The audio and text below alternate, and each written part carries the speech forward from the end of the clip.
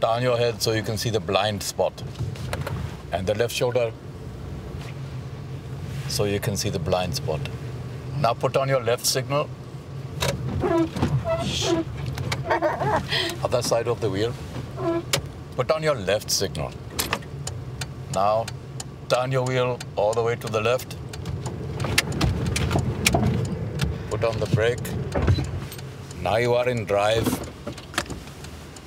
Now the gas pedal.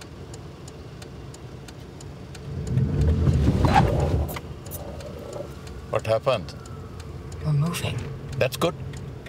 I, th- I think I don't like this. Well, you have to go forward now because I haven't taught you how to back up.